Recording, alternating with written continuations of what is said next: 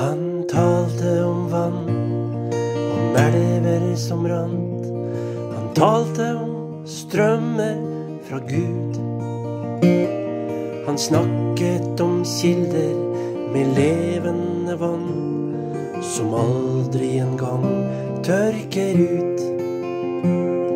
Han sa til de tørste, kom her og drikk.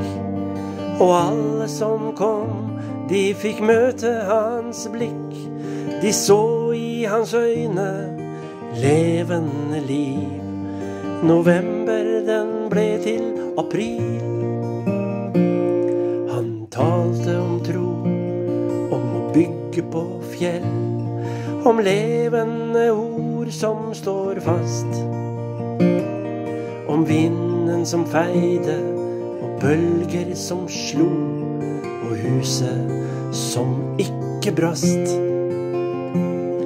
For grunnmuren, ja, den var bygd på hans ord. Og alle i huset, liten og stor, når regnet pisket og stormen ga kast. De sto på en bunn som var fast. Djupere ned. Djupere, djupere ned. Han kom til oss alle, til kilden og skallet. Djupere, djupere ned. Han talte om jord, kaste såkornet ut. Slå røtter i dypeste grunn. Dypet fins kilder der livet gror. En kilde med liv uten bunn. En kilde med liv, ja, med levende vann.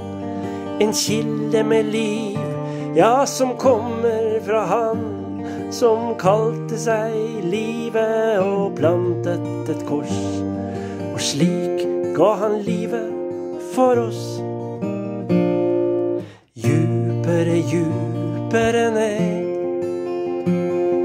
Djupere, djupere ned. Han kom til oss alle, til kilden og skallet. Djupere, djupere ned.